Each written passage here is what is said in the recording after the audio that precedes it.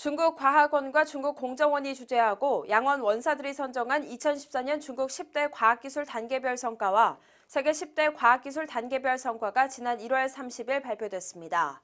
달 탐사 3기 공정 재돌입 귀환 시험 비행 성공을 포함한 20여 개 국내외 과학기술 단계별 성과가 선정됐습니다.